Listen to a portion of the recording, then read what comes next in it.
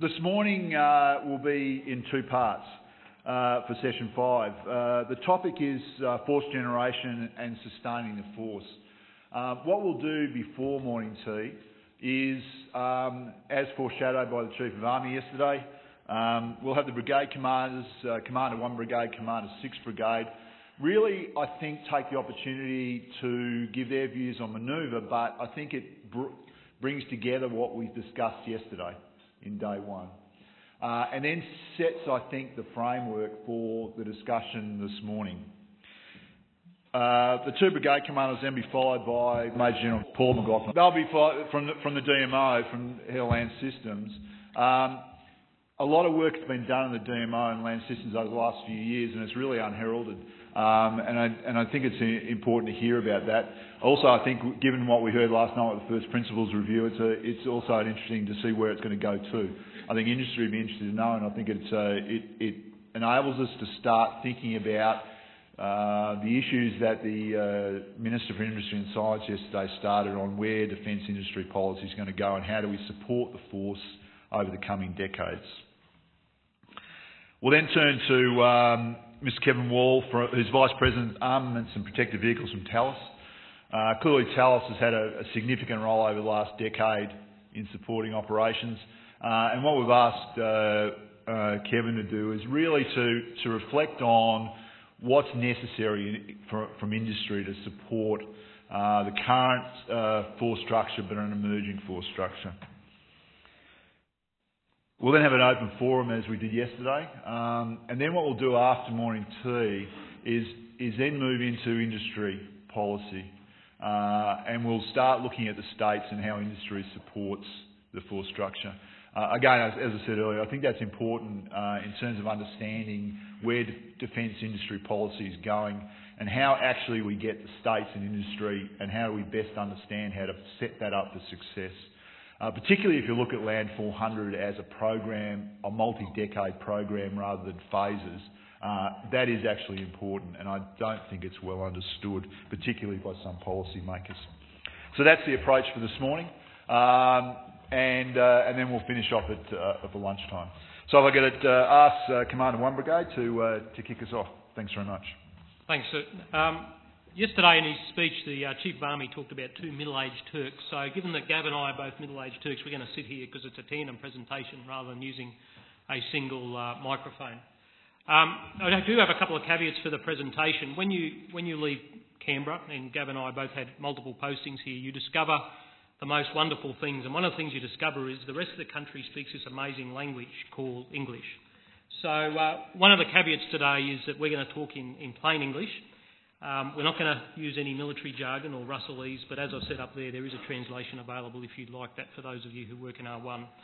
Uh, finally, there are no uh, futuristic pictures or anything like that. Every picture you see today is from a combat brigade in the last six months. So the presentation today is in two parts. Gav and I will go back and forwards. Uh, we'll firstly talk about what is a contemporary combat brigade, because Beersheba has resulted in quite a few changes over the last couple of years. And then we'll talk about, okay, so that's where we are. Where do we think, from our perspective, uh, we need to go on the ongoing journey, journey that is uh, Beersheba that the boss spoke about yesterday. So, what is a contemporary combat brigade? Well, first and foremost, a combat brigade is around 3,500 great young and not so young Australians. Uh, it's formed into eight distinct elements, uh, seven units, and a headquarters. And this is the Beersheba construct. Two standard infantry battalions, an armoured cavalry regiment, which is a new construct of tanks, APCs and ASLAVs, uh, an engineer regiment, artillery regiment, a logistics battalion and a combat signals regiment.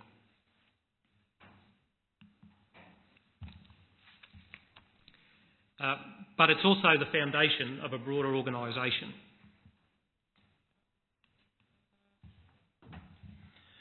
I like to think that the combat brigade is not complete until it's been reinforced, and the combat support enablers come in the form of subunits. So we're talking about air-land batteries.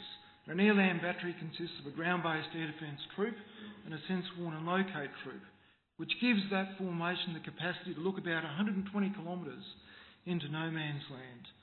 We're also talking about an unmanned aerial system battery, which has the Shadow Air vehicle, once again, has a range of about 125 kilometres. An electronic warfare squadron, giving Mick the capacity to identify the communications of our adversary, to listen in to what they have to say, and to where we need to, to attack them, and a construction squadron. Many of the other capabilities are at about the troop level, so the human intelligence, the psychological operations, the all-source fusion cells, and the explosive ordnance disposal. These enablers are generally provided through a means of integration rather than through the provision of a task group. For this to be effective, the combat brigade must have the logistics and communications capacity to absorb those additional assets. Strategic partnerships with national signals, human and geospatial intelligence organisations and the international partners that they bring with them are absolutely fundamental to ensure the manoeuvre commander is fully informed. Additionally, to ensure that we have a joint, common operating picture we must have communications nodes such as Link 16, otherwise there's no way we can leverage the air and maritime effects. Now, cultural reform has many facets, and certainly the Chief has articulated the excellent progress by ARMY with regards to Indigenous, ethnic, and gender diversification. From my perspective, one of the biggest issues we needed to tackle was moving away from the view that we have a light infantry, motorised, and mechanised brigade. We have three like combat brigades, and from the enabler perspective, that's absolutely the way that it has to be. And they have to have standard structure and standard common operating procedures.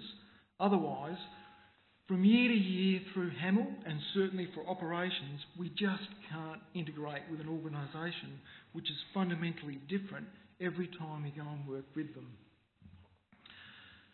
Within Forces Command, the training management framework is based on essential tasks, and that sets the platform for mission specific collective training to enable us to deal with a broad range of contingencies.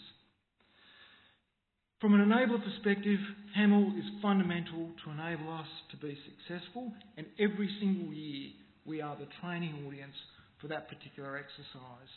It is therefore imperative for us that we have a common, like combat brigade. I do believe in continuous modernisation, and I do believe that the Australian Army is getting there, but in reality, the Combat Brigade is at the very beginning of the journey to become a digitised joint manoeuvre force. And Mick and I have some things to offer on what now needs to happen. So this is the start of part two of our presentation where we're going to talk about uh, where do we think Beersheba needs to continue on in its journey. So many of the activities that we've seen in the Army over the last couple of years, whether it's the reorganisation of the uh, previously specialised brigades into standard like combat brigades, uh, the reinforcement of the force generation cycle, the supercharged adaptation cycle between brigades. Uh, they really are what we would see as the Beersheba Mark 1. As, as Gav has just said, they're the entry ticket into 21st uh, century digitised warfare. Um, and the reason why we have a view on this is because you can't command a formation without having a view of where that formation needs to go into the future. It's just not possible to do it. It's not possible to focus on the here and now. You need to be looking out and looking at where your combat brigade or aviation or combat support or logistics brigade will be going into the future and seek to influence strategic decision makers at, force, at uh, army headquarters and other places about where we might like to go. So we'd, we'd, offer this as, as our views on some of the foundational activities that Army needs to uh, undertake in the future. And there's five areas that we'll cover off on. Uh, how we fight, uh, how we educate and train, how we organise, uh, how we equip, and uh, how do we remain as a land force relevant. So first and foremost, how we fight. Um, as the Chief said yesterday, uh, this is our reason for being. and training to fight in a near peer, combined arms, um, close combat environment is the hardest thing we can do. Uh, that's what we'll do, and then we can adapt for everything else because everything else is not as difficult as that. Uh, but there are areas where we believe that uh, we can uh, seek to improve our performance.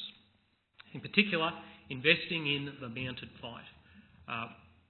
Combat is about dismounted and mounted operations. We've invested a lot in the dismounted fight, and we've been the very fortunate recipients of a range of different equipments for dismounted soldiers. The new Soldier Combat Ensemble is the best I have seen anywhere, and it's what I've been waiting for for my entire career. Uh, but our armoured vehicles uh, need to be modernised. Land 400 is critical to the future of combat brigades and to the effectiveness and the protection of Australian soldiers on future operations. The old saying, tanks save lives, they really do. Uh, digitisation. It is not a discretionary activity. It is not something we can drag out. It is something we need to jump into. And it is not about communications, although that is a small part of it. It goes to the heart of how we think about command and control. It goes to the heart about how we integrate land, air, sea, and other operations. And at the end of the day, digitisation is more about how we think about fighting in the future, not just about putting BMS, radios, and other systems in vehicles and aircraft. The third area for improvement is signature management. Uh, at the moment, uh, we have a view of how we might be detected by an adversary, but at the end of the day, uh, we need to invest in measuring the signatures of our headquarters, of our combat teams, our battle groups, our enabling elements to understand just how detectable are we, and then we need to pull those various signatures apart to ensure we are less targetable in future. Uh, we have had the great luxury of not having to worry about that too much in places like Afghanistan. We've done a little bit of it, but at the end of the day, there are a, a range of fairly sophisticated actors out there uh, with a range of ISR technologies that would greatly challenge us, and we need to jump onto this challenge. Uh, we need to uh, more significantly invest in a range of air and ground autonomous vehicles. I think in the airspace we're looking okay, and it's almost a saturated field. But on ground autonomous vehicles, it really is the preserve at the moment of explosive ordnance uh, detection experts, and we need to move well, well beyond that. There are a range of systems and a range of functions that can be performed by robots that are already out there. We are commencing some trials this year. We're essentially just giving small robots to some of our infantrymen and some of our engineers and saying, come up with good ways to use these things. This is an area where we're seeking to create a new niche for our army and get robots out there because there's a range of surveillance, sentinel, recon, urban operations functions that they can perform that we don't use them for at the moment. Airland integration. Uh, air-sea integration, sorry, sea, um, sea-land integration, amphibious ops has been an area of great focus over the last few years, and it should be. But Air-ground integration is, I think, a growing field. We're seeing it now on a day-to-day basis in Iraq with our Air Force. Uh, we've seen it in Afghanistan grow from a very low base to a reasonably good uh, capability in that kind of environment, but we need to take it to the next step. And the greatest area for growth is actually not in strike or move, it's actually in the ISR space, where there are a range of air-generated ISR effects uh, primarily from Air Force, but from other systems, that ground combat manoeuvre can be a great beneficiary of, and we need to get better at integrating those. Uh, the Ready Battle Group. So for about 25, 30 years now, we've had a Ready Battle Group uh, construct, which was based originally on the old ODF. Uh, we think it's time to have a new look at that construct.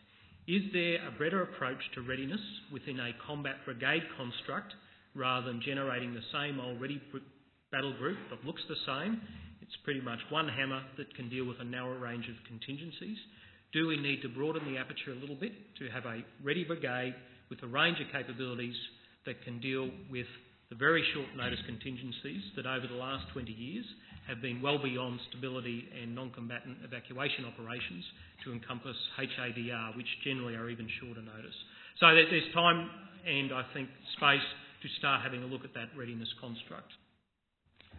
Finally, the, fi- the final thing in looking at how we fight is The adaptation cycle at the brigade level is supercharged. We are reviewing and rewriting how brigades work every single year at the moment.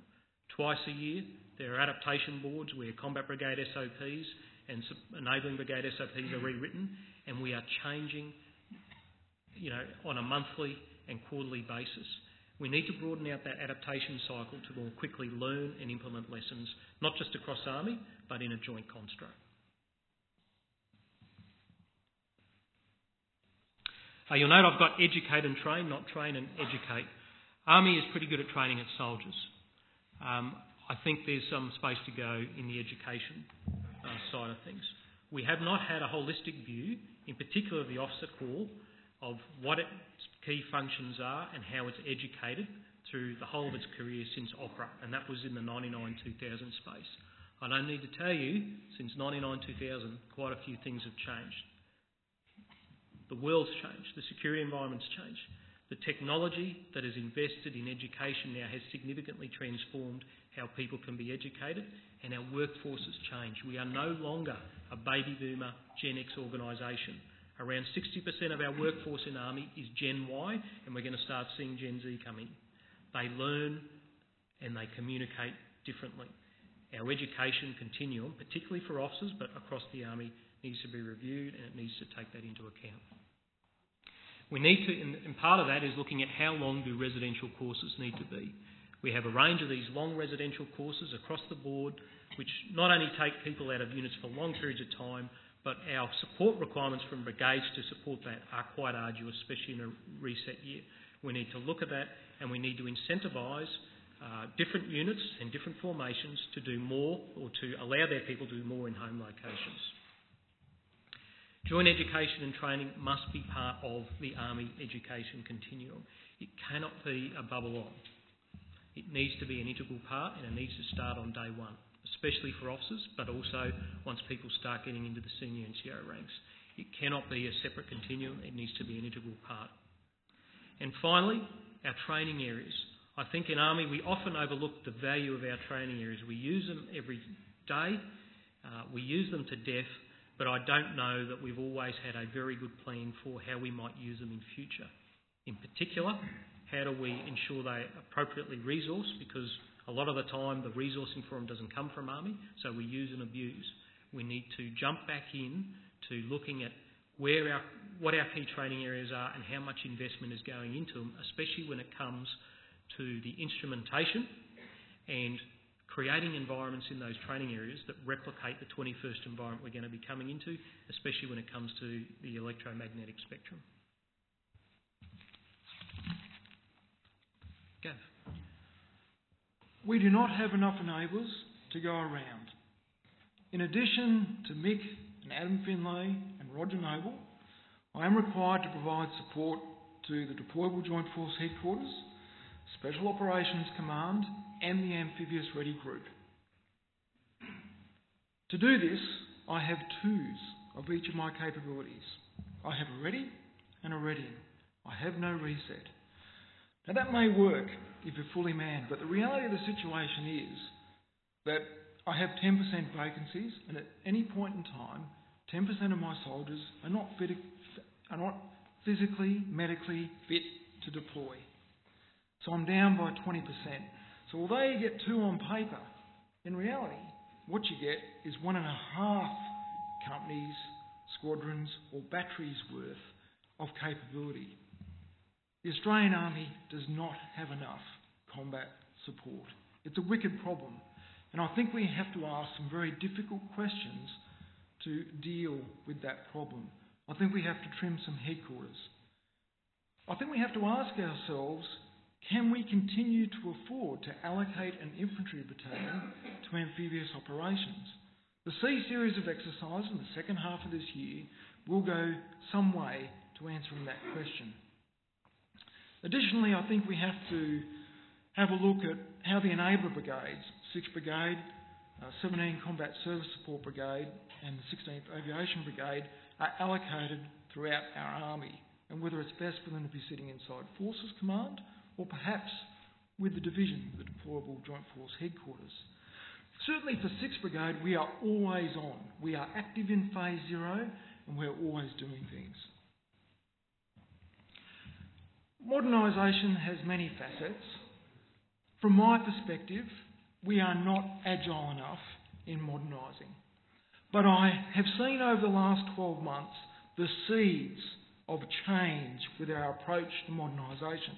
And I'll offer you two examples to demonstrate that. Last year, we put a radio in a box. So we set up a radio station in Atherton on Exercise Hamel in direct support of a combat team conducting a non combatant evacuation operation. It was extremely successful.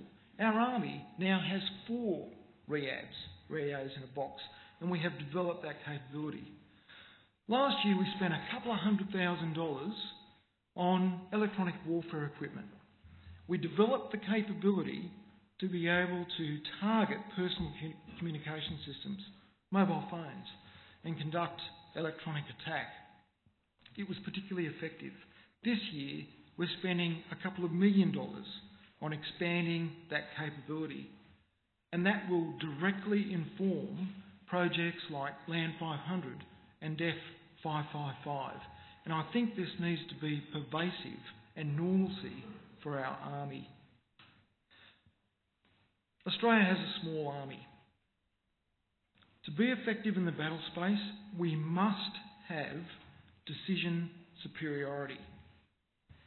We must be in the position where we can inform the manoeuvre commander and deny the same to our adversary. To be effective in the future, we must have the capacity for all of the information we collect to be placed into a single database and to have the tool sets that sit across the top to deliver, to, to deliver intelligence to the supported commander so they can understand it. That is an absolute fundamental. I am of the contention that as a small army, we are an order of magnitude short of where we need to be with regards to information collection and, in particular, the analytical capability to deal with that information. And I think we absolutely have to deal with this if we have any chance of dealing with the size disadvantage which is a reality for us. Over to you, Mick. Thanks, mate. So the final piece is uh, how do we ensure our continuing relevance as a land force uh, in this nation? Well, our Fundamentals of Land Warfare, which was published last year, is Army's story, and I think it tells a very good story of Army's current relevance and the place it plays within the Joint Force. Uh, and it is a place within the larger Joint Force, and it's important to make that point. But we need to start thinking, well, how do we ensure we retain our relevance in future? What is the Army's story for what it'll be doing and its relevance to the government and the nation in 2030? Uh, part of that, and you know, part of RAAF uh, narrative is about fifth generation warfighting. What does that mean? What does that mean for Army? And when I say what does it mean for Army, I say what does it mean for the Joint Force and Army's piece in that? Now, we are not an island. You know, Air Force talks about fifth generation and they're thinking about these issues, but I'd like to see a larger discussion about what is the fifth generation defence force and what is the Army's role in that. And then within that, how do we communicate that with government and our partners? Um, I believe as an institution, especially Army in particular, uh, we are not sophisticated when communicating when we communicate to the community and to government the value that we add to not just national security, to a, a broader, uh, to the broader community. I think that uh, some of that communication is way too bottlenecked, and we actually need to incentivise our people to talk to media and to talk to other people and communicate what we're capable of, but the value that we add. Too often, if you have a camera and a media team out there, officers will run the other way, and it shouldn't be like that. We should be proud to get out there and be incentivised to get out there and talk about who we are and what we do. Uh, part of this is our reticence to engage in social media. In my brigade, every unit and every CO, it is mandatory for them to be on Facebook and Twitter. And the reason I do that is because that is how the largest part of our workforce communicates. And if we don't understand how they communicate, we cannot lead them effectively in the 21st century. We just can't. So we need to engage and we need to incentivise uh, our use of a range of different mediums and a range of different media to communicate our story. So, in conclusion, uh, we're coming in right on time, so that's pretty good, Jeff. Um, four concluding thoughts. Um, mobility, protection, and digitisation are key to how we're going to work in future. They're key to how we're going to fight. They're key to how we're going to educate and train people. Airland integration and amphibious operations are key to how we're going to work in future. But the core of what we do is the combined arms close fight. That is the essential, irreducible thing that we as a land force must continue to provide to government and the joint force. We have a supercharged adaptation cycle in a large part of Army at the moment. The changes we see on a quarterly or yearly basis and how combat brigade work is the best I've seen since I've been in the Army. It's actually quite amazing to see how quickly and agile, uh, quickly, quickly we can change and how agile we've become. But I believe we need to broaden that out across the joint force. It is a good culture and is a good mindset for our officers and NCOs and our soldiers. And finally, wherever we go in the Mark II of Plan Beersheba, the core of that will remain the good education and the good training of our people. I don't think anything that we've said today will change that. Uh, it will remain the core of how we provide capability in the Australian Army. Thank you. Thanks very much, Jen.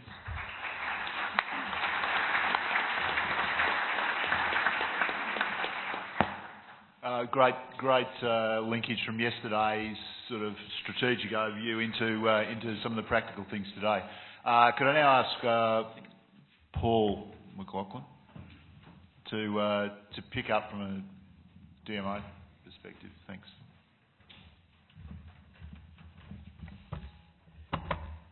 ladies and gentlemen, really good to be able to be here this morning.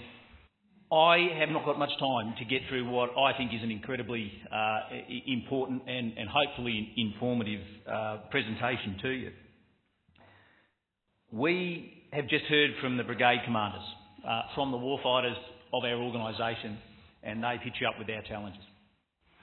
Uh, I need to now talk to you all about why uh, my organisation, right at the back end of, uh, of Army, is just as important as the combat uh, warfighting capability. Without essentially the Land Systems Division, and uh, you know, it's up to me to uh, convince you of this today, we cannot put the equipment in the hands of the soldiers, the right equipment in the hands of the soldiers at the right time, we, and then we simply cannot sustain the existing fleet. And uh, I would have to say that in my time uh, in Land Systems Division, it has become apparent to me that there has been a significant tendency in our Army at the moment to outsource this particular capability and to essentially not be a sophisticated and informed customer about the services that are provided uh, by my particular organisation to the combat force. The risk, of course, is that when you have a high-level review like the First Principles organisation, if you are not an organisation that fundamentally understands what you have outsourced and the threats to the capability outcomes that that organisation provides, then you risk losing it and not knowing about it. And we need to be incredibly careful where we are at the moment. So what I want to talk to you about this morning is just quickly go through uh, Land Systems Division, a snapshot at, in the moment. I then want to talk to you about uh, a land material update. Now, uh, there's a lot of people in the room, uh, certainly in industry, who have a fundamental understanding of what's going on. There are quite a few uh, people in uniform who also understand it. But the harsh reality uh, of our existence is that if it's not screwing up, it's unlikely to make it into the press. We have the majority of our projects not screwing up. The nation doesn't know about it.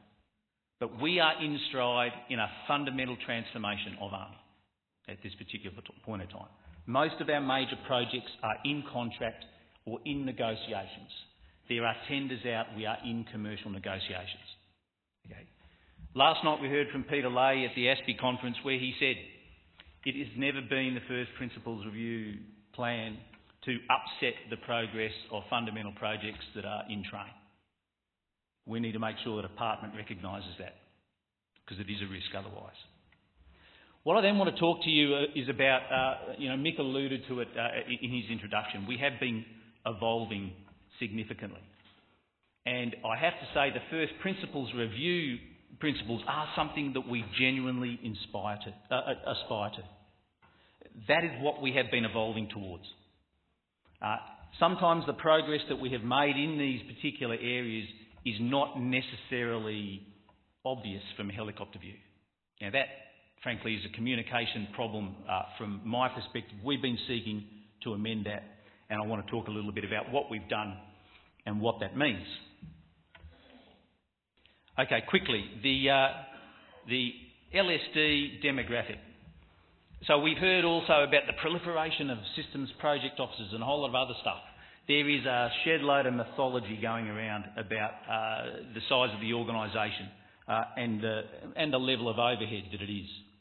So I have four systems branches and a munitions branch. I have 10 systems program officers. I have a land engineering agency that is the only fully matrixed engineering support agency within the DMO. We have a number of people that we genuinely matrix out to support individual projects and sustainment lines. It is an effective and an efficient use of an engineering resource.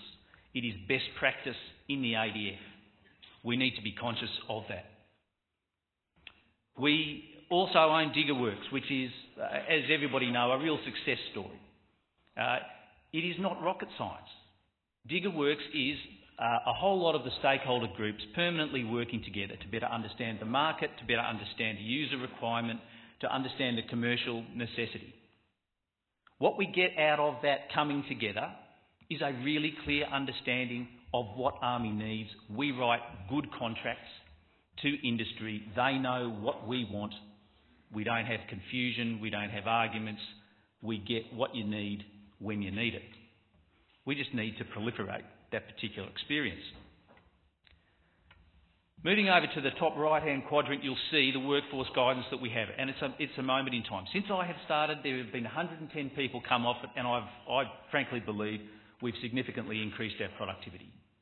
There are certainly opportunities for us to lean further. But in a bureaucratic organisation that is responsible for day-to-day acquisition and business outcomes, I would significantly warn against anybody proposing a transformational approach. We need to maintain incremental. We need to be com deeply committed to the reform packages that will come down to us.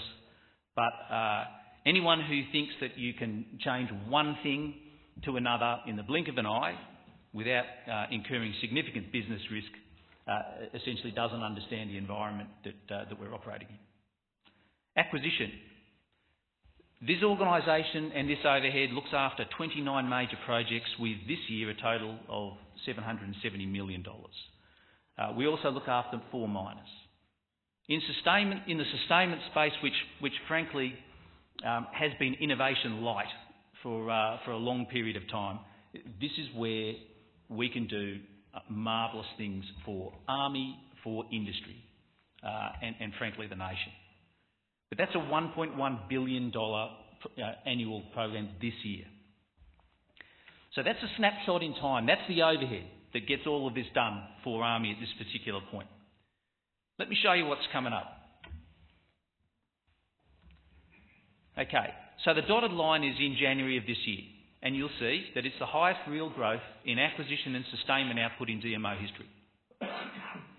this is when the first principles review has hit the table. The, there's a lot of detail in this particular graph, but the thing that I really would like to bring you a point is the two shades of, of ready magenta or whatever that, that, the that is. They're unapproved major projects. Okay? Have a look at the growth that we have got coming down the pike. Now, this is based on uh, essentially the, the previous DCP, and things will change as a result of the white paper. But the thing that will not change is the magnitude of the delta. Okay? And this is what the organisation that we must build under the First Principles Review has to be able to do better for the ADF. Now, that is the, that's the first part uh, of the presentation over. So that, that's what the organisation is, that's the overhead, that's the future that we've got to look after. For a lot of people in this room, they'll look at this picture and they'll see three soldiers walking in front of a bushmaster. Please have a look a little bit deeper. Uh, certainly for those that aren't in uniform. Every single aspect on those soldier is an integrated part of the system.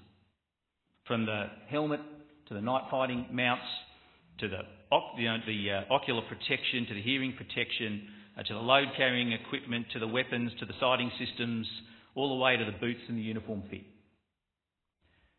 We have not done well inland about communicating the complexity of our integration requirements. I don't know how many times I've gone into committee and heard, well, you know, what are you getting all tense about? It's just a rifle. Or, you know, it's just a helmet. We are a spider web of integration requirements in the land space. We must get that message through. We're not a ship, we're not an aircraft, but we have to make all of our individuals and the equipment they use work together to deliver the land outcomes. It is fundamentally difficult. It is significantly underappreciated within the department and outside the department. So let me just talk to you now about where we are and, and to give you a consciousness of, of, of where we are, you know, in the, in, the, in the middle of the obstacle of transforming Army from essentially a Gen 2 organisation to a Gen 4.5, as my evil twin has talked about. Right, from the, on the soldier, these are the capability exemplars that we've currently got at the moment. On the left-hand side, you'll see the enhanced F88. This is, frankly, uh, one of the best, I think, assault rifles uh, now in existence.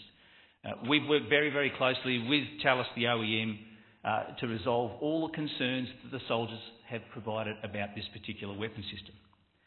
Uh, under Land 125, we uh, have also got a significant capability step occurring in terms of the sighting systems that we will apply to that. We will increase the lethality. Um, there, there is absolutely no doubt that this is a technology and a capability step for the Army. Uh, it is upon us. Uh, we've had a look at the multicam camouflage uniform. I've talked about that requirement. We've, we've cracked the lightweight automatic grenade launchers and we'll be signing a contract in that particular area very soon. Uh, in soldier modernisation, Land 125, and we've heard uh, from Commander 1 Brigade, whose uh, his brigade, we have just rolled out the first tranche of the Soldier Combat Ensemble 2. Everything from the helmet to eye protection, to, to all, all of that's rolled out. It is world's best equipment. Coming to Land Systems Division from uh, 7 Brigade, I challenged my soldier integration people that it was a, a, regular occurrence for me to go down to infantry battalions and have soldiers spending $2,000 of their own hard-earned money per year on buying their own packs, webbing, boots. Okay? It, it, it used to really uh, disappoint me, frankly. Their challenge was to get us kit that soldiers would rather have than going out and spending their, their own money. Now, in the feedback that I have got from 1 Brigade and from 3 Brigade and all the people, I've had personal emails now saying, eh, you know, thank you. As a father, I can spend my hard-earned cash on my family rather than go out and buy our own kit. That, that's probably one of the, the most important, uh, I think, outcomes that, that my organisation's achieved for soldiers. Night vision update. Uh, once again, uh, we're in tender evaluations at this particular point in time. Uh, we will be staying right at the capability edge on this particular. And then we've also got the CBRNE with, uh, uh, with JP 2110 uh, and, and certainly 3025 for the Special Forces capabilities. If we, there we go. That's the project's overview, and I'm not going to dwell on this too much. But please have a look at 16, 17, 18. Uh, this is where all of this kit starts getting developed uh, and delivered to the combat force. So essentially, everything on the soldier is changing out. Everything the soldier uh, uses, we have new systems coming into place. And this is what the organisation is charged with the delivering at the moment. Okay, on to vehicles. Uh, really important. The, the overview, uh, Land 121 is, is the project title. We're changing out the Land Rovers for the G-Wagons.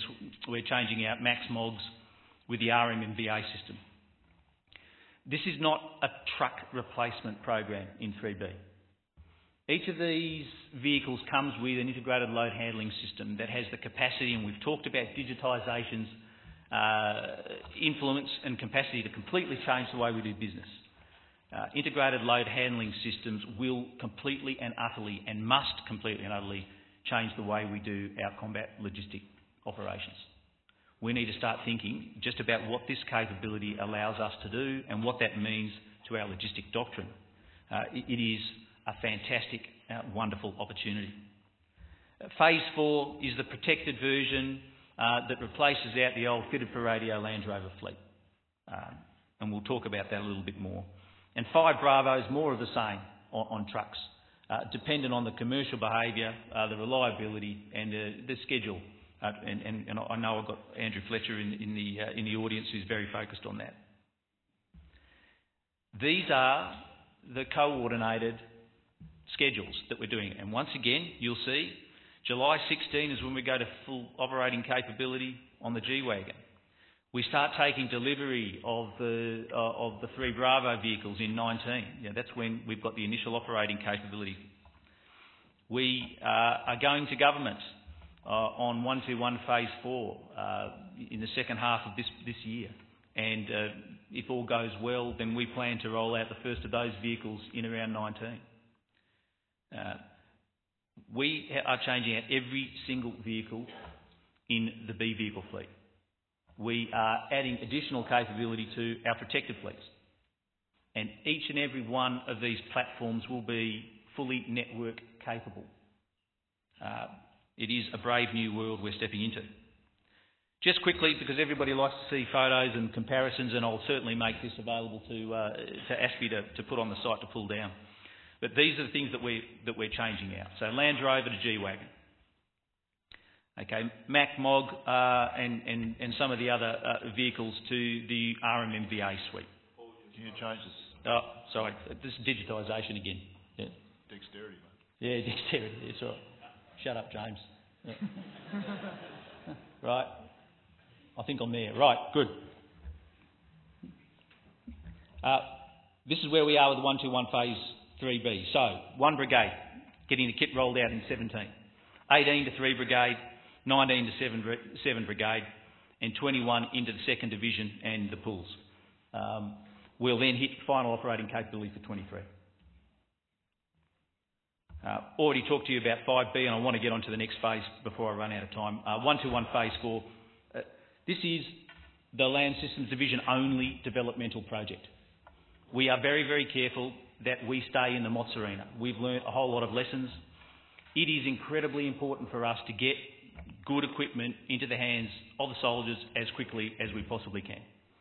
If you take an overly developmental approach, frankly, the soldiers don't get it when they need it. Um, and we, as a, uh, as a, a, middle regional power, uh, simply do not have the assets that, or, or the capacity to do high-range developmental project work. We need to stay in touch with the market we need to, we need to you know, really concentrate on R&D efforts. But we, as an organisation, if we're going to be realistic about things, need to make sure that we're in touch with market and we are taking advantage of commercialised equipment rather than doing it ourselves. 121 Phase 4 has been uh, uh, a remarkably successful alternative approach. Uh, and where we are now with it, and I, I don't want to talk about it, but, but uh, we are on the cusp of, of getting a particularly capable uh, platform for, uh, for the ADF.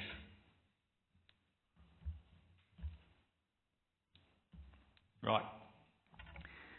The next slide gives you a really good op opportunity to see exactly where we are with our, uh, with our armoured and protected vehicle fleets. Um, we'll talk quickly about, uh, about tank. Wonderful capability. We've got an upgrade uh, program going on at the moment uh, within Bandiana. Uh, it is working particularly well for us. We have been doing a lot of work with the 113 fleet at, at this particular point in time. Yeah, no,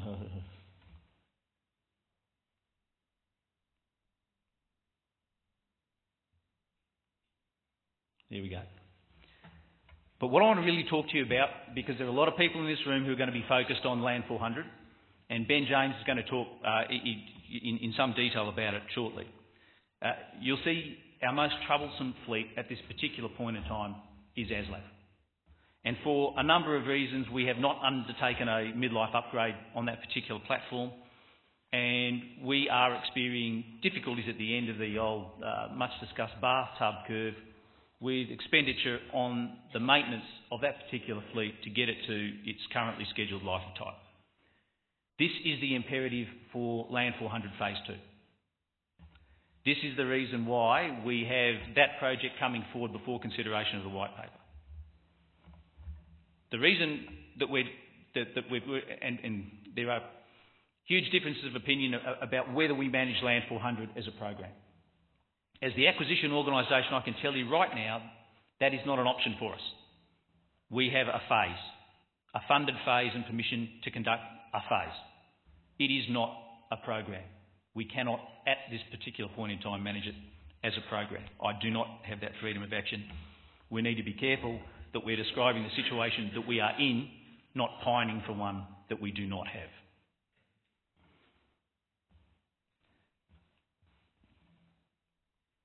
Right, the protected mobility fleet has been a, a, a really good news story. I'm going to leave a lot of this off uh, because I know that Kevin and, and Chris are going to talk uh, about some of the things that we've done in this particular space. Uh, this is, I think, our first and best foray into having a strategic partner with us in the maintenance of a vehicle capability over its lifetime. Um, we are certainly using the arrangements that we currently in place have in place with PMV in terms of performance-based contracting and a willingness for us to sit down and find a middle ground in the sustainment area um, about not overspending in over-servicing a vehicle, because that's the contract that we had, but seeking about the opportunities for better spending the money that Army has to invest in this capability. We want to, instead of you know, spending a, a ridiculous amount on oil and oil filters, which really doesn't do anyone any good. We would much rather see that money being spent on engineering change proposals that keep the vehicles and the system at the cutting edge of capability to the end of its life of type. Uh, we're certainly getting a lot of support uh, from Thales to take that particular approach. It's a model that we want to proliferate right across our fleet management practice. Right. Combined Arms Fighting System. What is Land 400? Just quickly, uh, it is Army's most significant capability development and acquisition program. it, it is scheduled under the old DCP as more than $10 billion. Uh, Mick Ryan's talked to you about it being it, our, our, core uh, land combat capability project. It is not about fighting uh, Russia on the steppes of Europe. It is about providing a fundamental, networked, protected capability for our soldiers so that we can best answer government's requirements of us for the next 35 years. This is not us aspiring to be something that the nation doesn't need. This is a fundamental requirement for soldiers. Um, we are scoped to deliver a land combat vehicle system it will increase lethality, survivability awareness, mobility and integration. It will give us an in-the-moment capability, something that we are losing with the obsolescence of our current platforms. It will be available to us for the full spectrum of conflict. The network sensors and the ability to improve our situational awareness and our decision making in these platforms will be relevant to us no matter what we do or where we go. Um, I will make the point that the only vehicle fleet that we could get through to Condamine during the floods in 2011 was ASLAV. Uh, we, sent, we sent an ASLAV squadron in to help the people of Condamine. This is what Land 400 will do for us in the future as well. It is not just about the last 300 metres of a combat assault. Right. Some different approaches, and I can put this down because it's my, it's my last slide and I can, I can talk to you about it. First of all, the changes that we've uh, sought to make within Land System Division are based on communication and transparency. We have an arcane uh, process to get through to gain equipment for the ADF. We only make it difficult when we don't communicate with each other, when we don't have a common view, when we can't talk to each other in terms of value for us and value for you. We have to have exactly the same approach with industry. If we don't understand industry's business, if we don't understand industry's desires, we can't effectively ask them or negotiate an effective middle ground solution. Consequently, we have been working uh, much harder to communicate what we are doing for Army and to understand what is available from industry. And we are essentially the Rosetta Stone for Army and industry engagement. The corollary from that uh, is, and, and, and everybody's seen the smart buyer description in the first principles review, which is fantastic and, and, and actually uh, you know, gives me a, a, a deal of excitement about what we might evolve into. But for us to be a smart buyer, we must have an informed customer. Um, otherwise, you just, you, you know, you, you, you either have to believe everything we tell you or essentially disbelieve. If that trust is not there, if we do not maintain um, army points of engagement all the way through the, you know, my organisation, we simply can't have the informed and sophisticated discussions that we can do to be self-healing in capability cost trade-off decisions. One of the really key areas that we have uh, moved forward in is the involvement of the user in tender evaluation.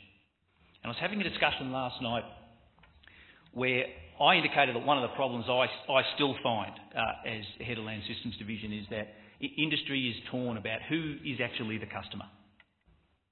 And uh, there are a whole lot of different perspectives on that. You know, is it the end user? You know, is it cynically the government?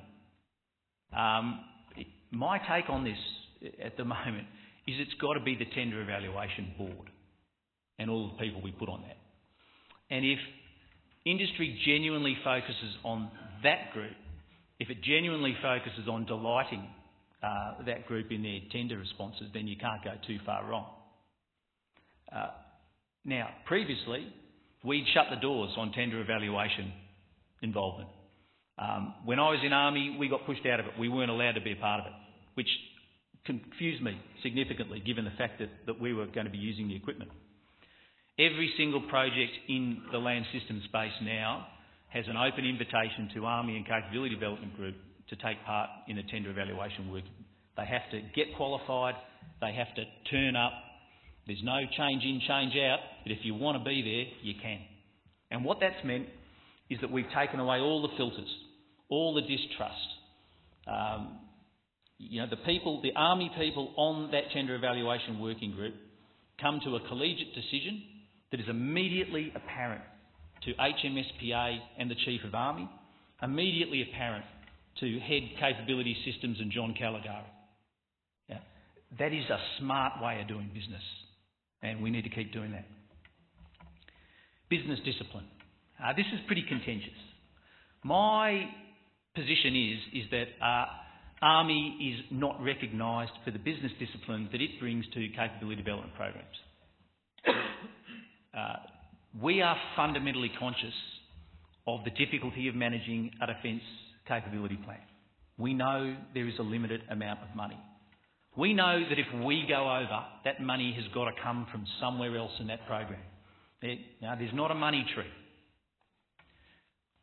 Army, I think, with uh, our information and their capacity to be a, uh, a genuine collegiate partner in the delivery of the defence capability program, is prepared to self-heal in the capability cost trade-off space. I don't think Army is fully recognised for taking that business approach. I think we are then accused of overspecking rather than legitimately adjusting our capability aspiration to stay within a budget given to us and approved by government. I think the department needs to come in our direction. I think we need to get that sort of behaviour from other services. If we do, we're going to certainly have less difficulty about moving money around uh, in year to resolve problems from other areas. To do this, you need scalability in your plan, you need pragmatism, and you need a genuine commitment to executing a joint, balanced force. You need to completely and utterly get rid of the rice bowl approach that, uh, that we have been uh, quite legitimately accused of previously. Adaptive acquisition is the next thing that we've done. It's, it's fundamental. Previously, we have been caught in, you know, like a mosquito in amber with some of our capability selections and then changing out the entire capability. And MCBAS, the, uh, uh, the, the body armour system that we procured for Iraq, which was spec to withstand three armour-piercing rounds uh, genuinely from a person sitting on a vehicle checkpoint, and we bought the whole army that, that system. Consequently, when three years later we went into Afghanistan and we have a completely different mission profile uh, for the infantry, and we put them into that fray wearing MCBAS, we weren't ready for the next conflict. What we're doing with adaptive acquisition is with high technical and tactical refresh rate capabilities, we transfer more money into the NPOC element within sort of sustainment, or we tranche it and we issue it like we're doing to, uh, to one brigade at the moment to the soldiers. There is no doubt in my mind as a brigade commander the best place to test equipment, the best place to improve it is in the hands of soldiers. It is better to get an 85% solution in the hands of the soldiers immediately because it is a tech step. They will do better with that equipment than they will do with their current equipment. And then they'll tell us how to improve it. And if we listen and if we have the contractual ability within uh, our agreement with industry to take that feedback and get it into the next tranche, we get soldiers cutting edge equipment for the life of type of that capability. Uh, we're doing it really well in the soldier combat ensemble space. We need to proliferate that into our digitisation and communication approach. Uh, that's going to require a significant effort uh, and a willingness from uh, Electronic Systems Division to do the same sorts of things. The latest thing that we've also done in all of our systems is we have upgrade pathways factored into sustainment budgeting and planning. Now, everybody who's been dealing with Navy and Air Force would go, know, well, do, you know, of course. We have not done that in our approaches. We have always taken an acquisition and a separate sustainment planning approach. Uh, the sustainment planning has not sought to factor in money and opportunity to keep the kit we buy at the cutting edge. We're now genuinely doing that.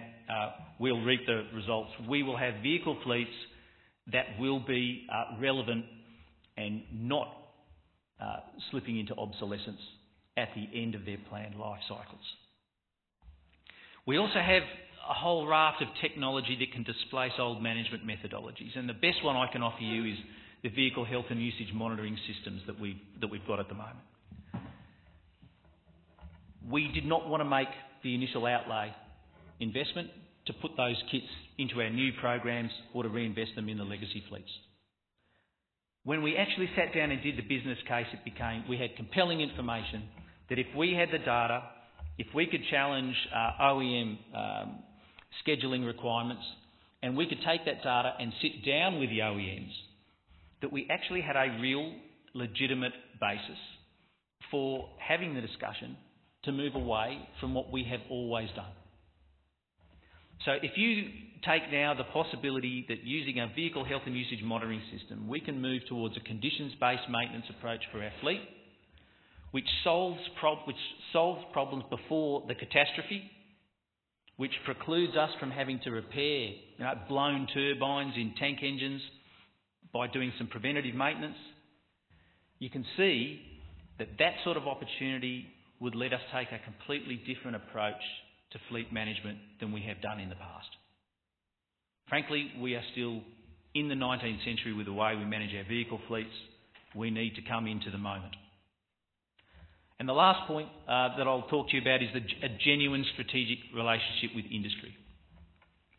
Gav's talked about there's not enough enablers in the combat support area.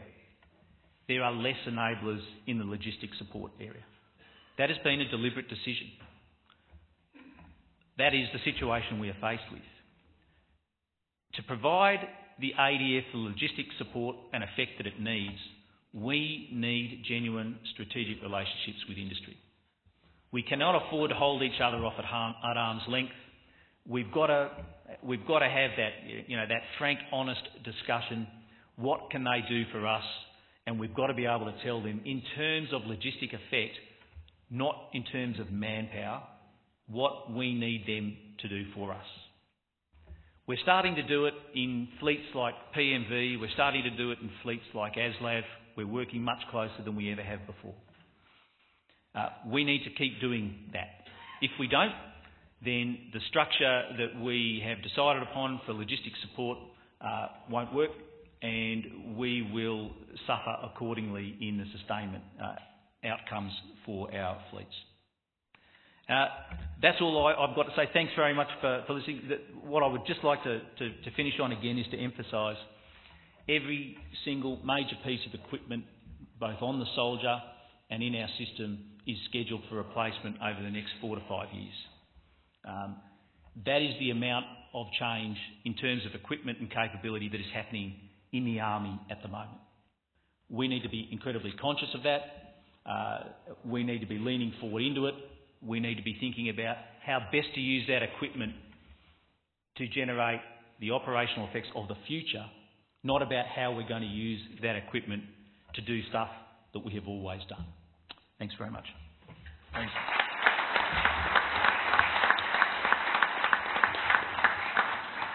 Thanks very much, Paul. Um, no doubt there's been interesting questions. Um, can we now turn to uh, Brigadier Ben James? Um, this is an important one. When we first started thinking about running this conference last year, one of the, one of the uh, suggestions was we ran it entirely on Land 400. Uh, clearly there was some issues around bidding and that sort of thing for phase two. Uh, but we came to the conclusion that if we just talked about Land 400 without the context, we wouldn't really uh, progress the argument at all. And there would still be a school of thought that just saw it as a, as a nice to have but unimportant. So the, the, the really aim has been to set up a context so that when you talk about capability and, and in particular Land 400, is a, it's nested into a, into a context that makes, makes sense and makes strategic sense. So it is important, but it's important to see it um, well beyond phase two and really to start thinking about it as a program, albeit that's not funded or government approved, but nonetheless, for a, for a forum like this, I think it's professionally important. So, Ben, thanks very much. Thanks very much to you, Mike. Uh, General Toolin, Admiral Scarlett, good morning, and I'm very uh, uh, delighted to be here this morning to be able to speak to you on one of Army's most enduring and important projects, our plan to modernise and replace our armoured fighting vehicles project, Land 400. In many ways, the project to procure combat reconnaissance vehicles, and infantry fighting vehicles breaks new ground for Army. The acquisition and introduction into service of the vehicles will likely extend into the 2030s, and the vehicles will be in service for decades beyond that. It's a project that will endure five or six federal elections and be overseen by the next six Chiefs of Army before the final capability is fully realised. It's a project that comes with a price tag reflective of the sophisticated capabilities resident in modern AFVs. It's not an overstatement to suggest that the current program to modernise Army's AFV fleet represents our most comprehensive and enduring project to date. So given the keystone position that Land 400 occupies in Army's future capability, I'd like to spend some time this morning covering off on seven key factors that are at the forefront of our mind and that are going to underpin the successful execution of Land 400 and see a modern, capable AFV fleet introduced into Army. First, Land 400 is completely consistent with our strategic guidance. The Defence White Paper 2009 committed to replacing and enhancing the Army's fleet of combat vehicles and other land force capabilities with the objective of furnishing the ADF with greatly improved firepower, protection and mobility in response to the increasing complexity and lethality of contemporary and future conflict. And many of the things that we heard yesterday are consistent with those remarks. That deal was reaffirmed in Defence White Paper 2013, and we expect similar guidance to be forthcoming in the soon-to-be-released Defence White Paper 2015. Moreover, we're very conscious that Australia's deep and deepening dependence on energy, information, trade and human links with the outside world has the potential to turn prosperity and geography from advantage into security vulnerability. Our interests could be put at risk without our territory being threatened. And of course, our operational experience for the past 15 years confirms the utility and flexibility of armoured fighting vehicles from peace support operations in Somalia and East Timor to stabilisation operations in Iraq and Afghanistan. Qualities that continue to be proven in current operations across the globe. Second, we continue to foster strong engagement with industry.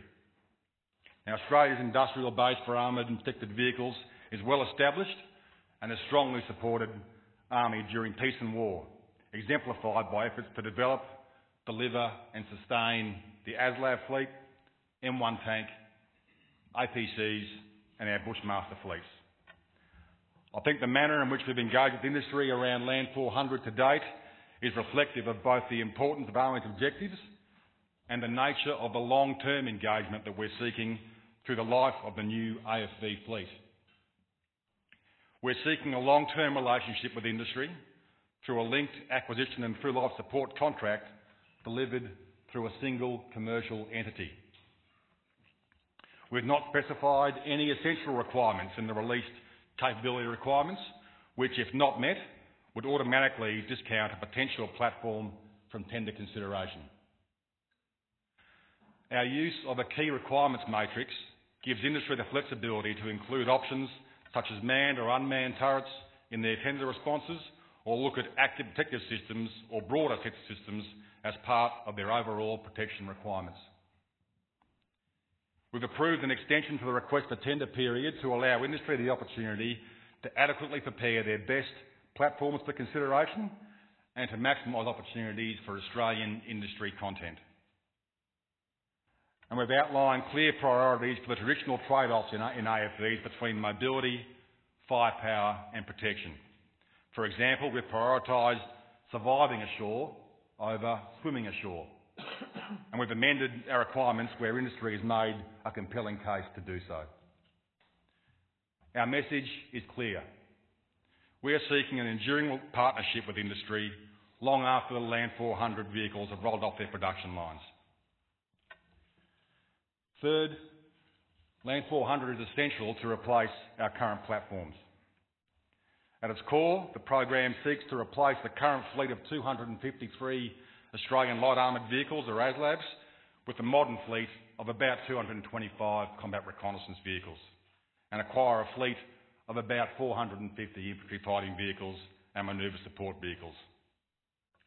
These will replace a similar sized fleet of 1960s era M113 AS4 armoured personnel carriers and deliver an integrated training system for the new fleet of vehicles. It's possible the new vehicles may be similar in appearance to the current fleet.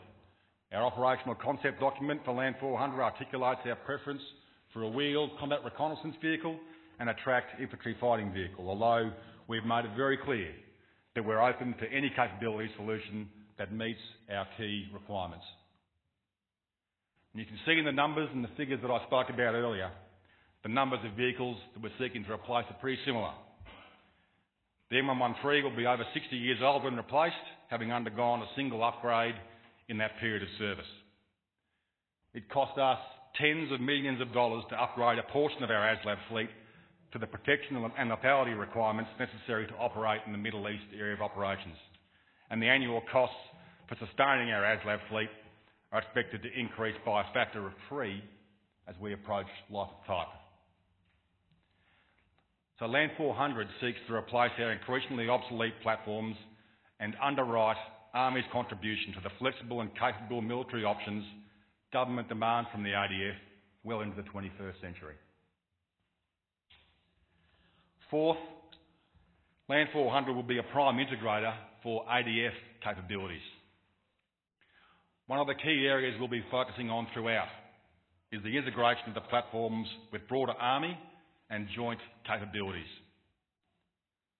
Land 400's modern AFVs will operate alongside Army's M1 tanks and Tiger armed reconnaissance helicopters. They'll carry and fight with infantry soldiers equipped with the latest personal weapons and equipment delivered through Land 125. The digital battlespace management and communication systems delivered through Land 200 will form a communications backbone for the vehicles to operate as part of a joint and combined arms force. And both the CRV and the IFV will be transportable for training or in theatre on trailers acquired through Land 121. Just as importantly, the vehicles will enhance the options the ADF can provide to government. They'll have the operational reach to rapidly deploy, deploy to theatres where Australia's interests are at stake on board Navy's LHDs and Air Force C-17 aircraft. They'll have improved force protection from the ever-increasing threat of improvised explosive devices by integrating counter-IED systems delivered through Joint Project 154. They'll harness the collective capabilities of the Growler and Joint Strike Fighter for improved target discrimination and lethality. And they'll provide protection and mobility for embassy staff, for civilian members of aid development organisations, for the Australian Federal Police and for assigned coalition forces in a variety of operational contexts. We're also seeking to acquire a, training simulation system through each phase of the project to realise individual and collective training standards in a far more efficient and distributed manner. As we acquire a fleet of more capable AFVs, it's vital that Army maintains a weather eye on living within our means. Modern simulation systems provide a key means of realising quality capability outcomes while driving down sustainment costs. Army never fights alone, and Land 400 is very much in step with broader ADF modernisation initiatives and capability upgrades. The fifth point that I'd make is that Land 400 is relatively modest. Now, in the same breath, let me just say that, of course, the project comes with a significant price tag, as you'd expect when you're dealing with modern armoured fighting vehicles. But we're pursuing a comparably modest scope for the project by seeking a MOTS, a military off-the-shelf acquisition, to deliberately avoid the risks and potential cost blowouts typically associated with developmental projects. The numbers of CRVs and IFVs that we're seeking are essentially the same numbers that are in our current AFV fleet. We are going to seek synergy between platforms and areas such as ammunition calibre, weapon systems, vehicle components and spare parts. And while we will seek a series of through-life capability upgrades in any platform acquired, we are not pursuing capabilities that break new ground or that test the bounds of physics. When the final vehicles have been delivered, we're still likely to be a regular army based around three reinforced combat brigades with a reserve in the order of 10,000 part-time soldiers. The basis of provisioning that we're seeking will not make us a mechanised, heavy army designed to fight state-on-state conflict. The CRV fleet will give each of our combat brigades about 45 vehicles, and we're seeking a battle group lift for each of the brigades in our IFV fleet. This force structure could best be described as a medium weight, balanced structure as opposed to a heavy armoured brigade. Land 400 does not seek to fundamentally redesign the Army. Sixth, Land 400 underpins Plan Beersheba. The modernisation of our armoured fighting vehicle fleet is central to Plan Beersheba, a series of coordinated and ongoing initiatives that will greatly enhance Army's ability to generate credible land power and provide scalable, responsive land force options to government. At its heart, Plan Beersheba involves three similarly structured combat brigades, each able to deploy and sustain combined arms teams, infantry, armour, artillery and engineers, directly supported and specialised uh, by specialised enabling functions, intelligence, logistics, aviation. And you've heard from two of our brigade commanders this morning to that effect. Every 12 months, a given combat brigade will rotate through a reset, readying and ready cycle, referred to collectively as our force generation cycle. These changes in Army's approach to force generation ensure that there's always one reinforced combat brigade, the Army's unit of action, available to meet the range of government-directed levels of capability. The vehicles and systems acquired under Land 400 will sit at the centre of our reinforced combat brigades in our Armoured Cavalry Regiments or ACRs and will form the core of a flexible and highly effective combat capability, CRV, IFV and tank. Land 400 provides the core capabilities for Army to generate scalable and agile land forces proficient in coalition, joint and multi-agency operations for the security of Australia and our region. The seventh and final point is that Land 400 is constantly informed by lessons learned. The process of modernising our AFV fleet is constantly informed by threat assessments from the Defence Intelligence Organisation and the views of our friends and allies, and that have been, have been essential in developing and refining the user requirements for our respective platforms. Experimentation from the Defence Science and Technology Organisation and Army's own experimentation unit have informed key decisions and the numbers of vehicles and the methods of their operation. Armoured fighting vehicle programs undertaken in partner nations have yielded key observations and lessons on the management of project costs, risks associated with setting aspirational capability requirements, and the need for constant engagement with key stakeholder audiences. And we've planned a rigorous program of risk mitigation, tests and evaluation to ensure the vehicles can do what manufacturers say they can do and meet the key requirements of Australia's operating environment. As General Toole mentioned yesterday, we'll believe it when we see it. My sense is, I think we're in good shape right now, but we'll learn as we go on the Land 400 journey, and we welcome any contribution to the debate on our AFV modernisation program from our friends and allies, from industry partners, academia and professional interest groups. So in conclusion, the capabilities being delivered through Land 400 will remain central to the ADF's fighting power well into the 21st century. They'll be central to providing our soldiers the protection, situational awareness and weapon systems necessary to undertake peacemaking, post-conflict reconstruction and combat operations in increasingly messy, hybrid and irregular conflicts. Land 400 will require full engagement from industry, support from our friends and allies, and active championing from those in uniform. And finally, it's a project that's heavily integrated with wider ADF modernisation efforts to deliver more capable and flexible military options to government, consistent with strategic direction and Australia's position as a medium power with global interests. Thank you.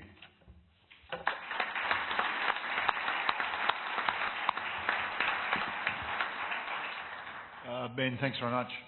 Uh, one of the recurring themes yesterday and, and, this morning in particular has been the role of industry. Um, I think it is important as soon as you start thinking about programs is how you actually engage industry properly and allow industry to start participating in the, in the capability process. And particularly when we keep talking about rapid acquisition, responding to, changing threats and operational needs, um, there's always then an air gap between how you actually bring industry into the, into the process. Um, Thales has had a particular experience over the last, Hate to say it, 40, 50 years in, its, in both as Thales and its predecessor organisations. And uh, look forward to uh, Kevin giving his insights on how industry uh, can play. Thank you, Michael. Um, always great for industry to follow uh, two warfighting uh, brigade commanders, the head of LSD and, uh, and of course the, the beholded uh, Land 400 DG. So, um, so stay tuned, and those that went to the toilet will really be upset they missed this one. so um, yesterday there was a lot of discussion um, really about uh, the, the, strategic footprint, why uh, the force structure review occurs, uh, why uh, the, um, the force um, is, uh, is realigned, if you like. And, and I guess it's the increasing urbanisation of the battle space and the asymmetry of our adversaries. Um, these conflicts have not been state on state, they've been um, characterised by invol involvement of more uh, non state actors. Operations today are increasingly more coalition. Uh, they're more uh, uh coalition militaries, and of course, that requires some, uh, some real interoperability at the technical level. There's no surprise uh, how platforms are being adapted and evolved uh, and these circumstances, if you like, with vehicles, for example, becoming increasingly more sophisticated. A vehicle is not just a vehicle anymore. Uh, it has a weaponry system, C4ISR uh, technology is being deployed. It's deployed as part of a network, uh, net, a network force. At the individual level, uh, we heard just before the significant evolution of uh, small arms, ammunition, and other equipment for the dismounted soldier. It's a real huge development, and the soldier is far better equipped than ever before. It, I guess from my perspective, in, in, fact, the key issue for me is the, uh, the exponential increase in the information available to the soldier when he's deployed, and also the power required for dismounted soldiers, commanders, and also the platforms.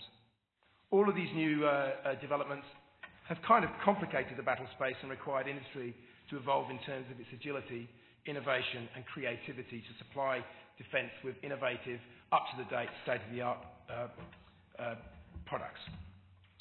This has brought about commercial, technological challenges for industry, but also opportunities to support defence in new ways through new collaborative partnerships. One of the biggest challenges, though, for us all is the speed in which this changes.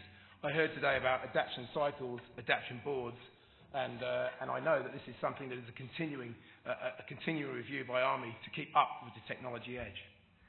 During the latter part of the century, as conflicts generally become less intense, the uh, funding development decreased. But because of the technological advances, uh, the development time and complexity of material increased. This forced the industry to think long and hard about its investment cycles, timeframes, and ways of developing new methods and program management, and, uh, and really had us working out how we could work out to be uh, at the front of the end of the, uh, sorry, at the front of the material uh, development and enhancing levels of, of sophistication. However, in recent years, this has turned around in Australia. The conflict in, Iraq and Afghanistan and the changing nature of the battle space has driven urgent operational requirements for new capabilities and greater exploitation of technology to support our troops in theatre. We've come kind of full circle. We heard yesterday a little bit about that from the Cold War uh, arms race into the 1989, post-1989 slowdown, and then with full cycle now back into the increased tempo. So what does that mean for in industry when it's supporting new force structures that emerge. And for the rest of my presentation, I'll focus on three key areas as they relate to industry. Firstly is the role of industry and the importance of established commercial contracts to keep capability in step with current and future operational requirements. Second is the importance of technology and open architecture across platforms and components.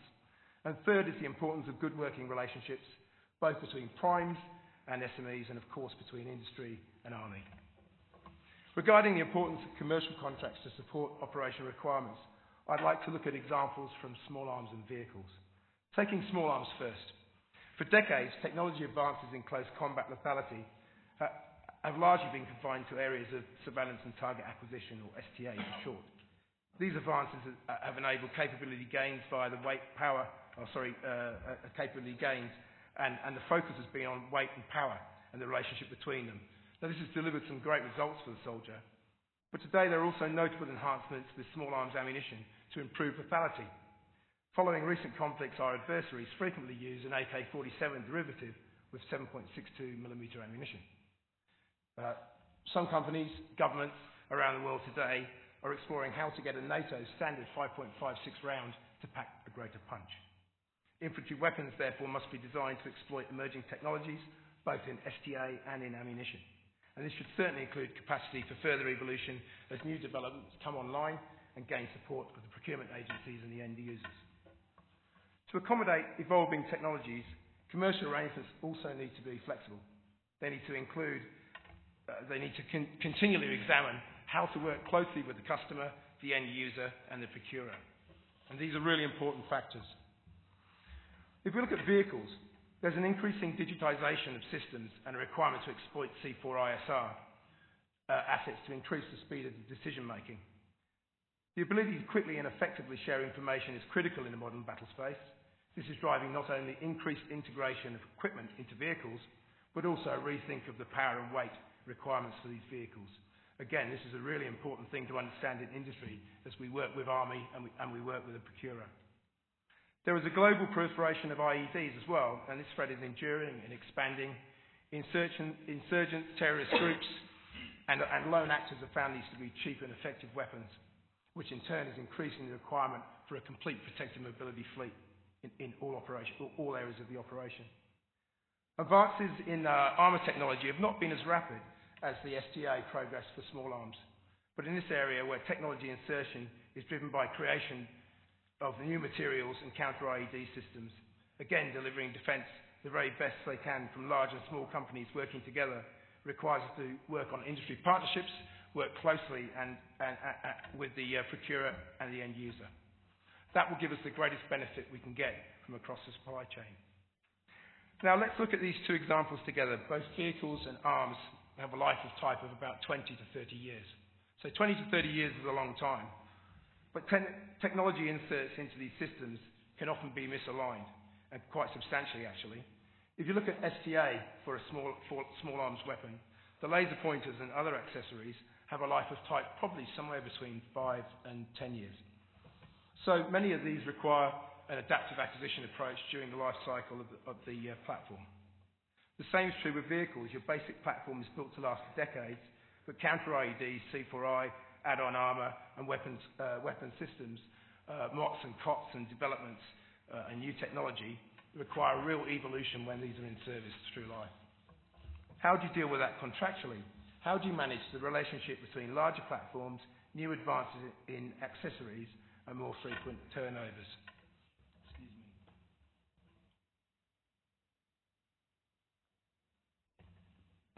That's better. So more traditional defence capability acquisition systems, at least in the land environment, have been more about buying a current solution in the past rather than taking a more adaptive approach to enable the future enhancement of the product whilst in service. But we know that Army wants more, to be more adaptive in certain acquisition strategies. Uh, and increasingly, both parties see the relevance of it in many places, including dismounted close combat space. Uh, defence and industry know that adapt the adaptive approach for infantry weapons makes sense and it makes sense, not all the time, but it makes sense certainly. And I can give you an example of one that makes uh, perfect sense. Land Systems Division, um, with the EF-88 rifle that uh, the General talked of before. Uh, Defence is about to acquire this rifle as an assault rifle platform, but at the same time it's running a competition, or has run a competition, to, uh, to, uh, to acquire STA accessories from a number of different OEMs. And collectively, these, are, uh, these form the mission system.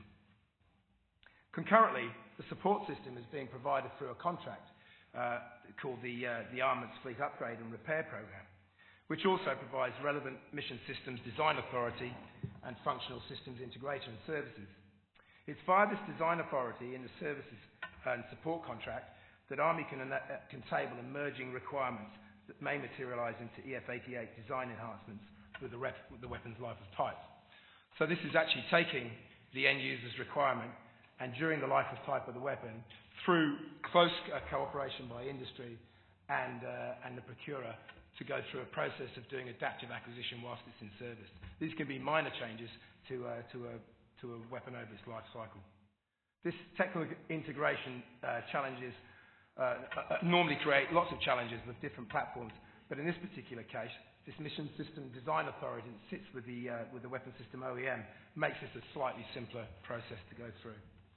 Linking the material contract with the services contract also ensures that the commercial arrangements remain flexible enough uh, to adapt and, undertake adaptive acquisition modifications to the LaFASI system. So just one platform, uh, and I'm sure this, type of uh, process can be, can be put across many different platforms, and I'm sure we will see this type of contracting mechanism in, the future, where an OEM will integrate mission system and then will be the design authority being able to take feedback from the end user and, uh, and make adaptive acquisition through the reset process with defence. Okay. Standardising technologies are, are, also important. When we look at the, uh, the Bushmaster, for example, the, uh, the Bushmaster has a, uh, in terms of its life type, it, it, it, started its journey in defence, which you, want, you might call an unsophisticated protected transport vehicle with a few analogue radios. Um, who'd have predicted over time that it would be where it is today? And, and we all know where it is in terms of its integrated systems, IP-based com system, and the like. But this is really important because it started off as a simple uh, protected mobility vehicle. It, it now is often referred to as a system. So the important thing from this to learn is that the, the uh, bespoke or proprietary standards may provide the best fit uh, for a particular um, application or task. But ultimately, proprietary standards are anti-competitive, if you like. This leaves defence vulnerable because uh, they can't change, if you like, uh, they can't change the process or the system as they're going through the life of time. So, speaking, uh, I, I, guess, the vulnerabilities are... sorry, i I've lost my place in this. Oh, yes, that's, that's an important factor. There are also um, potential security implications when operating in a joint coalition environment. That's, that's, that's a, key, a key factor. Coalition partners, such as UK, have a good example of what they've done with open architectures. Their general vehicle architecture system, uh, their defence standard, is based on established systems engineering principles and, and defines generic architecture which requires open implementation standards to support the cost-effective integration of subsystems on land platforms. That applies electronically, electrically, and physically. In fact, UK Director of Land Equipment has actually mandated the application of an open system and associated open standards for all future land platform procurement, current vehicle platform refurbishment, and upgrade programs in the vehicle fleets in the UK. This open architecture is therefore integral in the way that the UK do their procurement and do their through life support. In my view, this is quite an admirable development there are so many advantages about having open architecture as it allows for spiral development of technologies and removes proprietary architectural bottlenecks. It provides for wider choice and greater flexibility as, the faster, uh, uh, uh, as well as faster integration. By way of a contrast, where we are now, just look to the mobile phone industry. They have agreed standards for the transfer of data and voice, which have, current, uh, created a vibrant and competitive hardware solution market the result of that is increasingly complex and capable handsets made available for the lower cost uh, with three major operating systems. So it's quite a, it's, it's quite a similar, similar situation that we have in defence. We need to uh, have open architecture to enable ourselves to upgrade our vehicles or our fleets or our systems uh, in the best way possible. So if I return to defence with weapon systems, like vehicles and other defence equipment, they need to be future-proofed. They need to be able to be modified quickly to enable exploitation of emerging technologies for the benefit of the soldier. This is, of course, all achievable, and it can be accomplished through early engagement with industry, the requirements definition stage, and through the adoption of common standards. The challenge and opportunity for industry is to have timely understanding of what future requirements are emerging and will Uh, and be willing to engage with the customer and other stakeholders in the inevitable give and take of agreeing the standards that will be set to have sufficient certainty to commit resources to product evolution. This engagement will deliver long-term rewards for everyone, and, and I guess it brings me to my final point, the importance of good working relationships between defence and industry. There can be no doubt that the evolution of technology presents us with challenges that need to be addressed adequately and managed. However, this is not an easy task in an, in an environment where global budgets are under intense pressure and governments are more sensitive to the public's view on spending priorities. To help meet these challenges, prolonged periods of reduced activity should be used to reset, maintain and upgrade capability in a similar way to which Army is undertaking force generations, the fourth generation cycle. This should also be done with a view to reducing and minimising the life cost of material, life cycle cost of material. More than ever, um, support capabilities and technology support to new force structure options require long-term view, a long-term view of, uh, to capability de development, and, and this long-term view needs to be a shared view between uh, defence and industry. This long-term view is based on two primary factors. The first is early engagement of industry in the requirements definition phase, the second is program-funded enduring partnerships that lead to cooperative development, operations, and sustainment of assets. And In the land domain, in the last 10 years, probably even longer, uh, this has established deeper relationships between defense and industry, and certainly the acquisition and sustainment agencies. These relationships are driven by the fundamental, uh, at the fundamental level that we all are on the same side. We all want the best for our troops. We want them to carry out their missions in the most effective way possible, and we, want, and we, want, and we all take a certain amount of pride in their successful execution of their tasks. Building on this is our experience. These relationships have matured and taken time uh, to develop mutual trust and respect on the basis of proven performance delivering on our commitments. So, um, slightly more practically, They've also grown there because there's been budget certainty and sufficient uh, budget certainty sufficient to sustain the necessary cash flows. This has allowed industry to invest on the basis of longer-term security and longer-term security of income and longer-term contracts to support. They, are mutually reinforcing symbiotic relationship, and the importance of this cannot be stressed enough. This environment allows industry not just to provide capability to our defence customer, uh, through innovation and the planned delivery of new technologies and services, but also the flexibility and ambition to meet the customer's unplanned operational demands. Fleet management, whether it be radios, weapons, or vehicles, requires strategies and investment uh, that is suitable to both the product being managed and, and the needs of the customer. In terms of vehicles, it's now possible to retrofit an existing vehicle to deliver the capability to gain real near-time data that can feed into software-based, information-driven fleet management systems, managing capably on behalf of the customer and providing required availability at lower cost. You can't underestimate this sort of innovation. Through a vehicle, uh, vehicle's CAN bus engine monitoring system, for example, users can connect a, a VHUMS or a, or a health and usage monitoring system to collect accurate data on vehicle performance, condition, and engine and system parameters. This then allows for conditions-based uh, maintenance, which means the services can be provided when needed, not just when scheduled or, or, in time and, or where time and distance specifies. This data is also used to drive reliability improvements, offering diagnostics, information and data for root cause analysis uh, and equipment redesign, along with verification of defects and design correction. This data-driven approach proactively seeks to improve not only the condition of the vehicle, but also provide the information to help with the management of the entire fleet.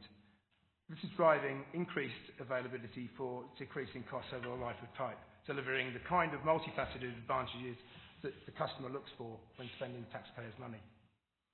So by way of conclusion, I want to say it's my genuine belief that industry is a key element of the total force, which in its entirety delivers a capability advantage to our warfighters and I guess um, you heard the General say that the LSD was at the back end of the Army.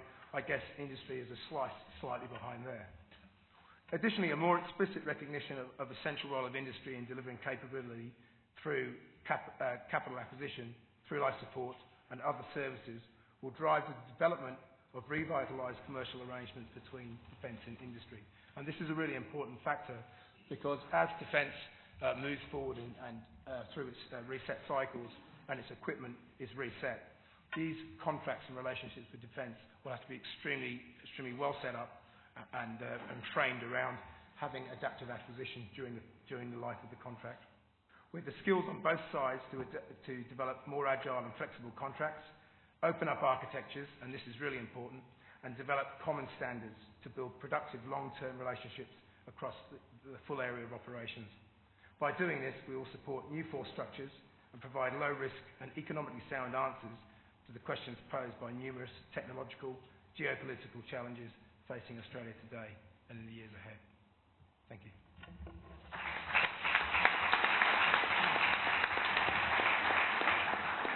Thanks very much, Kevin. Um, so we've covered a fair bit of ground this morning. Um, we've got a bit of time for some comment and questions. So the uh, the ground is open. Uh, Mr. Bancroft. Uh, Jim Bancroft from Northrop Grumman. Uh, to all the speakers, thank you very much. Uh, that was a fantastic panel and, and, really, really appreciated it. I want to raise an issue uh, which I suppose tries to piece out a little bit the right balance between military off-the-shelf capabilities and developmental capabilities. Last week, we spent a full week going to four different cities of this country and speaking to about 300 different Australian industries, from small ones, you know, four people industries, up to about 300 person industries. And just blown away time and time again about the innovative capability of those com- companies and how good they are and how hungry they are to do work. And it comes a little bit to um, Minister Macfarlane's point yesterday, um, teasing in all of our minds in, in the real world where we completely understand um, that the military off-the-shelf solution is the right way to go, and for Land 400, that absolutely is the right way to go. I, I, I, I still dwell on how best we can utilise that wonderful Australian industry. Um, Wedgetail, Hawkeye, uh, um, at, CEA Radar Technologies out there are doing some fantastic work in, in innovation along those lines. Um, Brigadier Ryan raised the issue of the potential for unmanned uh, systems in the future. I, I just throw out a thought that Air Force, you know, 20 years ago, you talked about unmanned systems and it wasn't really in their paradigm. But now it is. Uh, you know, our company does the X-47B, which Chief of Air Force thinks, you know, the next squadron of F-35 will probably be unmanned uh, looking at the infantry fighting vehicle phase of Land 400, the analogy directly across is that there could be vehicles as part of that program that might be unmanned as well.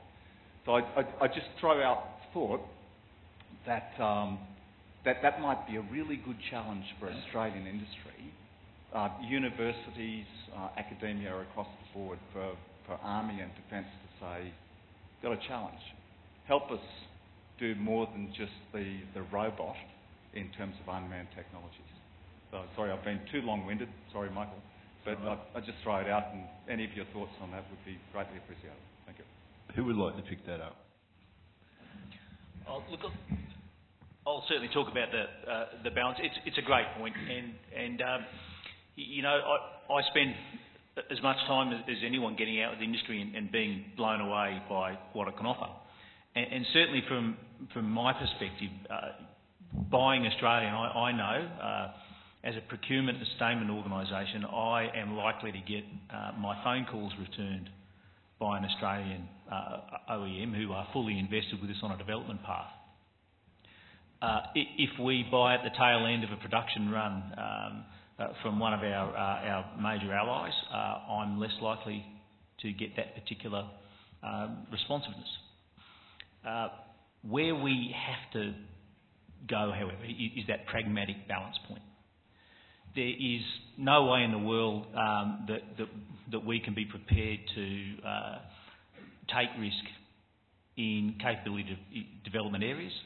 I, uh, as an acquisition organisation trying to meet Army's capability requirements, I have to have something I can buy. That, that's, that's the issue.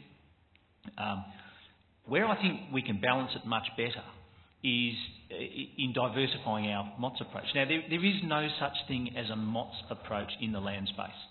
It's MOTS plus integration. So that's the thing that, that everybody seems to forget. So, yes, you can buy uh, uh, an airframe that, that rolls off a production line, usually in the United States, comes with everything and goes straight into Air Force. You can't do that with a land platform. What we need to, to do is identify the areas where we can bring um, truly indigenous innovation to aspects of the platform. So, but, but frankly, from my perspective, it's smart to do that after market. It's, after, it's smart to do it after you've done your major acquisition. You can keep the capability at the cutting edge that way. You can use uh, indigenous innovation, uh, but you don't face the dilemma of, of of saddling yourself with technical risk and having the project being delivered late. So it, is that balance point, but you're right, there are, there are a whole lot of other opportunities that we, that we can pursue. Graham Middleton, very ex-soldier. I'd like to pick up about three themes. That we've just had a brigade commander crying, uh, I think making an impassioned plea that he only had one and a half uh, uh, capabilities across his brigade through, if you like, undermanning. Yesterday, the Chief of Army quite correctly said that he couldn't really go back to government and ask for more unless what he had was being spent correctly. There was also a comment about the growth of headquarters. And uh, the question I put to the panel is, is the growth in the officer corps and the officer corps rank structure swallowing up the soldiers and their equipment? Well, I started that one, so I'm happy to answer it. Um, I, I think it's a great question. If you, this is not a new problem for the Australian Army. If you read the official history of World War II, the last few pages are all about a huge growth in the number of officers in the Australian Army. Uh, currently in the Australian Army, the officer corps is about 20 to 21% of the strength of the regular army. Uh, in armies like uh, the British Army, it's about 14.9%. Uh, so you can read into that what you want. You probably need to have a look at in a little more detail. Uh, but currently, 11% of army strength is at headquarters above brigade level. Uh, that's about 2,900 to 3,000 people. That's not to say they aren't doing, all aren't doing a great job, but I, would certainly like to have a look at uh, that entire workforce and say, could it be applied more uh, effectively within Army, uh, given that you know the rough strength of a combat brigade is around 3,000. So we've got a combat brigade in, in headquarters in the Army at the moment. A lot of them obviously are in joint space, not just in Army. This is a personal view. This is obviously not an institutional view, but I've been looking at organisational theory for a long time now, and um, smart, lean organisations don't have, tend to have uh, thick, dense bureaucracies above them. They tend to have lean, smart bureaucracies above them. Um, so that's, that's a personal view, but I, I certainly think it's worth a look. Uh, thank you for that. I, I, I left the Army uh, six years ago and haven't had much to do with it, but you guys uh, uh are absolutely awesome in, in, in, what you've done and where you've come. Just a question of fact. Uh, you're talking about PMVs, IFVs, uh, and um, CRVs. I, just a question of fact, can you tell me where they fit into the, to the brigade? Uh, say in, in 2019 when it's mature, uh, and is there, uh, I don't understand where the PMVs are now. Uh, someone spoke at one stage about one battalion or battle group uh, being uh, mechanised or motorised or, or, or, or, a lift, I think the, the word was.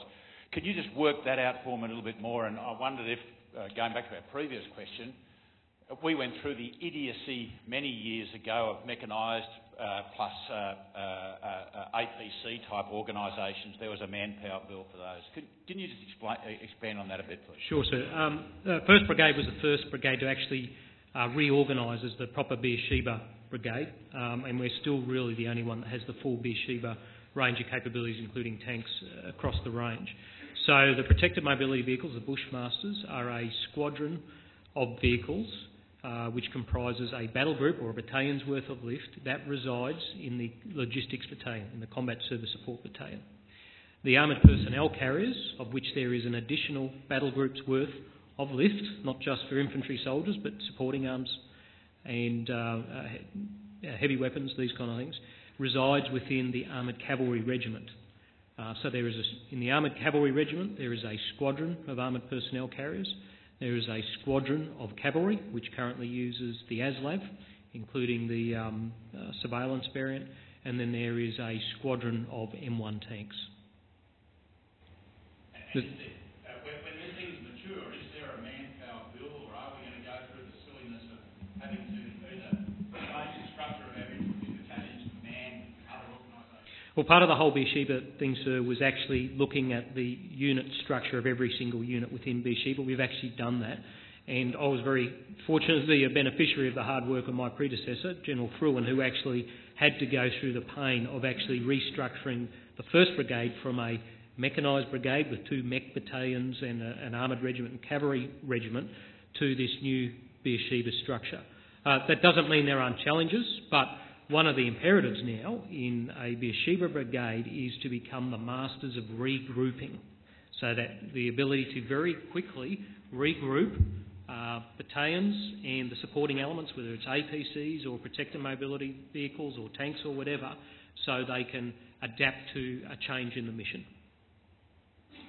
Point we, we might also make too is that, that PMV Light and PMV uh, are also started through uh, each of the units as the designated command and control uh, vehicle. So it's uh, whilst the, the, the one that we've talked about in the CSB that's that's for the lift of the battle group. Uh, it's proliferated right throughout the uh, the entire Beersheba Brigade as the designated command and control platform. Lieutenant Colonel Rich Bushby from Army Headquarters. My question's for Brigadier James and possibly the rest of the panel if they want to weigh in. Yesterday, um, David Feeney gave us Hugh White's comment about Land 400 being for continental battles on, you know, against large armoured adversaries. He then went on to pretty comprehensively demolish that argument, talking about lethality, democratisation of lethality, protection, utility across the spectrum, etc., etc. Those comments were, you know, broadly echoed by uh, Stuart Roberts in the morning. They were then supported by General Campbell, General McLachlan, and you, sir. Um, those comments are also pretty consistent with the narrative on armoured vehicles going back at least as far as General Leahy and HNA. I'm wondering what it is, in your view, about Land 400 and this project that's so polarising and why it's so seemingly misunderstood and what Army's got to do and why, why it hasn't been successful getting that narrative to take hold, particularly in comparison with the narrative that surrounds JSF or air warfare destroyer or submarines or some of the other big ticket defence procurement uh, programs that are going on. Mm. Yeah, thanks, thanks, Rich. It's a comment that, that's been uh, referred to me a few times since I've come into this job. I'd, I'd probably start by taking a glass half full approach, and I think um, uh, those people who are intimately involved in Land 400, who are making decisions from the Minister uh, down, and Minister Andrews very quickly got across the uh, essential nature of Land 400 very shortly after he came into the job, and that was helped, of course, by having that first path announcement very soon in the in the uh, in the piece. So, so as we heard yesterday, um, Minister Robert, Minister Andrews, Shadow uh, Minister Feeney, all get it and are all importantly talking about Land 400 and importantly linking it to Plan Beersheba. So at that government level, I think we are getting traction there from a, from a glass half full uh, perspective. I think industry certainly gets it. The industry engagement that we've had, the industry understands what we're seeking. Uh, they understand the importance, and there's a very positive relationship there in, in pursuing what we're after through the tender uh, process for uh, phase two uh, at the moment. So, uh, in the areas that are intimately involved, I think I'd take a very much a glass half full approach.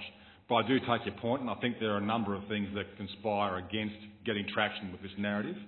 Um, I think the bandwidth for discussion about military operations and military capabilities in the wider public is pretty narrow. Uh, outside of a, a, narrow interest group, I don't think there'd be too many uh, people in the wider public who'd know where uh, Uruzgan province is, where our current operations in Iraq are, how many were over there, and what they're actually doing uh, over there. So to try and get traction in a community that's not particularly mobilised towards what's going on is, is quite a challenge. And the final point that I'd make is I wouldn't necessarily use AWD and submarines and JSF as uh, benchmarks. There's some pretty uh, bad uh, press uh, out there about that as well. And then the final point is I think the other thing that conspires against the narrative is that we, we in Army, we haven't got a strong culture of writing and communicating. And Mick referred to it, I think, about the media side of things. We don't have a strong culture of telling our story in the same way that we see in, in militaries like the United States uh, and other armies. It's just not a, not a strong culture that runs through our uniform uh, force, and that would certainly be pretty positive to try and get that narrative out there. It's starting to change, and I think the ASPI strategist has been very good at publishing articles and having a debate about it, uh, in some cases in a, in a pretty binary sense, but we are starting to get traction about it, and in some cases, in some cases on that narrative question, I'd take a glass half full rather than a glass half empty approach but there's work ahead of us. Know, I also, from a uh, both an in and outside perspective of it, I think um, Army has had the habit over the years of assuming knowledge rather than fighting the policy debate. I think I think back a couple of decades, we, we were very good at, well, Army was very good at the policy debate, um, but we, Army took it, took their eye off that one. Um, and, and because you couldn't, couldn't win the policy, you couldn't, you couldn't win the debate. Um, you know, the tank's a great example of where Army actually won the policy debate and they got a vehicle, which no one ever would have thought was possible. Um, can't, you can't trivialise that decision. So I think that, the, um, as Ben says, I think that by, by lifting up the intellectual debate and taking on the, taking on the fight, um, I think then starts winning your, winning your ground. Um, and then people can't argue. They, they can try, but they get beaten by the, on, the, on the smarts. Um, over here. Hi, Aidan Morrison from the Young Street Initiative in Sydney. Um, my question's to Brigadier James, or anyone else who has the answer. Um, we heard yesterday from Mike Ryan that projects that spend something like 15% of their total expected expenditure prior to contract tended to run on time and pretty close to on budget and those that spent sort of 2 to 4% tended to run years over and go to double or triple budget. Um, just wanted to ask, what are we up to so far? Because we've uh, got a, uh, an RFT out there. So, to someone not particularly informed, thinks that you guys must have spent, you know, half a billion or a billion dollars so far if you're if you're heading for that 15% mark. Um, yeah, where do we stand on that metric? Yeah, yeah. Look, um, that, that'd be that'd be my area, mate. There's there's there's lies, there's damn lies, and, and, and there's then there's probably your statistics. So uh, look, I, think um, we've got a really good acquisition strategy for Land 400. I think we have listened to just about everybody as much as we possibly can. And you need to remember that as an acquisition organisation and as an aspiring capability organisation like Army is, uh, you're at the nexus of, of, a huge range of stakeholders. Uh, uh, industry, uh, who, who, want us to provide them certainty, but then complain that we constrict. Okay, that, that's, that's the first piece. Uh, you've certainly got Army who aspire for, um, uh, you know, pocketfuls of capability. You've got central agencies who are trying, you know, to restrict us in, in terms of cost. And you sit at the centre of, the, that particular web, and oftentimes it feels like you're, you know, you're struggling to hold all of that together, uh, and that is a real conscious. In this particular instance, I think we have been back through the history of all of our involvement and all of our allies' involvement with armoured vehicle programs and the acquisition strategy that we've come up with in this particular piece, and we have spent a lot of money uh, in trying to understand the market space and develop our, our approach. Where we are at the moment with the tender is that we uh, are seeking to make sure that we have a, the shortest possible down select period um, to make sure that those who lose, lose quickly. And, and that's a really fundamental issue. We uh, also understand what we don't know about it. So, whilst we have a very good market understanding of what's available, we know that the experts in that area are industry. So for the risk mitigation activity phase, we are looking to partner with both industry and the capability manager army to understand what can be offered within the cost uh, provision.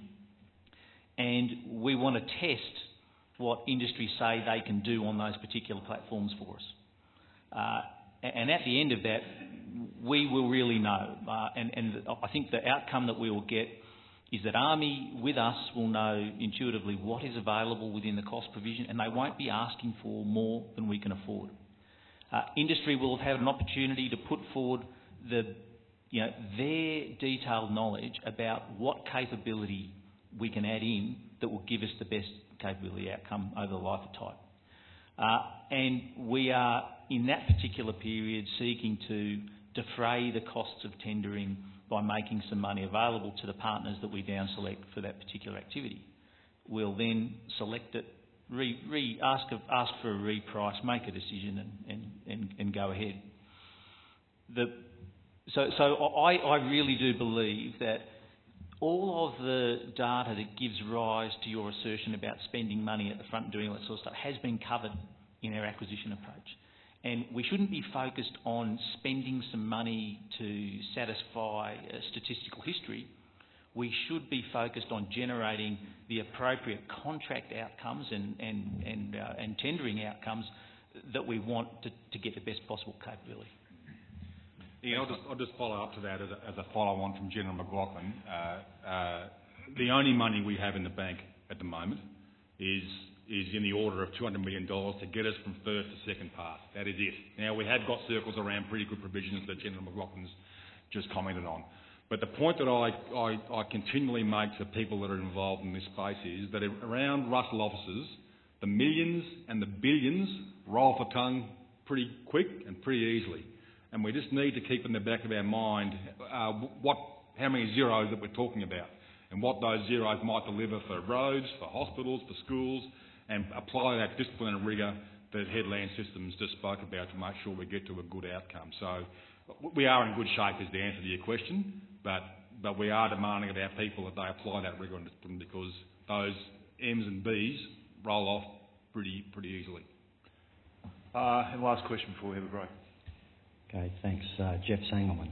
Uh, Gav, my question is primarily to you although I acknowledge when I talk enablers, I'm also referring to uh, CSS. By design, there is no doubt there is a significant difference between what we need and what we have. Although I am concerned that historically Army has been too quick to bite its own tail when it's looked for force structure solutions to gaps and it's all bad. You rolled off some ideas which are worthy of exploration, but they involved basically biting our own force structure tail to find a solution. Uh, I'm not convinced that we have squeezed the stone in the joint uh, space to look at joint effects that offset our enabler needs and uh, satisfy our requirements in effects terms before we turn to our own force structure to try and find solutions. And I believe uh, in the 21st century, Army's got to be a more demanding uh, advocate for new capability where clearly new requirements have emerged that do not re- impose on us uh, the sacrifice or the diminution of key capabilities in other areas. Do you believe that we have vigorously explored in your space the potential value of uh, better utilisation of joint capabilities to deliver those ISR and enabling effects for our land force. I acknowledge exactly what you've said, sir, and no, we have not. So there is a great deal to be done with regards to understanding the capabilities which currently exist and those which are coming into service uh, with the Air Force and with the Navy and the best way that Army can leverage those ISR assets to meet our operational requirements. So I agree with you. Uh, one of the key issues that I face is one of concurrency and the uh, multiple organisations that I'm required to support at any point in time. And I think one of the fundamentals that uh, Army has to look at, and when I talk of the wicked nature of the problem, if we look at it from uh, just say it's a defensive context, we can either have enough ISR so we know the enemy are coming from a particular direction, but we may not then have enough combat power to do anything about that when we see it. Or we can be looking in a particular direction uh, and the enemy come from a different location and get us from behind simply because we didn't know where they were coming from. So I absolutely acknowledge the very wicked nature of what we're talking about here. I, like you, do not want to see um, a reduction in what I see as being the bare minimum combat capability that our army needs to be able to offer uh, options for government. But I do believe that somehow uh, we need more in the realm of combat support, and I agree that we will have to leverage much better from Air Force and from Navy. I would offer that for exercise Hamel 16, one of the evaluation constructs we will put in place is air-land integration, and I think that's important for better comprehending, and certainly uh, Mick is doing uh, a mountain of excellent work with uh, getting the Air Force to better understand Army's requirements and to provide assets on Hamel 16 so we can actually look at what's available to us and better integrate it to the way that we operate hopefully as a joint manoeuvre force. Can I, I'll, I'll just quickly say something about that from my point of view, sir. I, I, I agree. I mean, one of the uh, conversations we had when I first got to the brigade was, you know, uh, you know, when you hear last, you had a cavalry regiment and had three squadrons, and now we've only got one, and isn't that terrible? And we don't have the reconnaissance that we always used to have. And it's like, well, Rog, in the old days that's what we had, but in the old days we also didn't have all these great feeds from Air Force and, and other actors that provide us with a level of situational awareness that we never had back then either. So I, I agree. So I think we need to keep squeezing that, that joint uh, banana to uh, get as much out of it. Um, we are on that path, but I, we're certainly not at any kind of end state that we should be comfortable with at the moment. Thanks very much. Uh, could I ask you to uh, thank the panel members?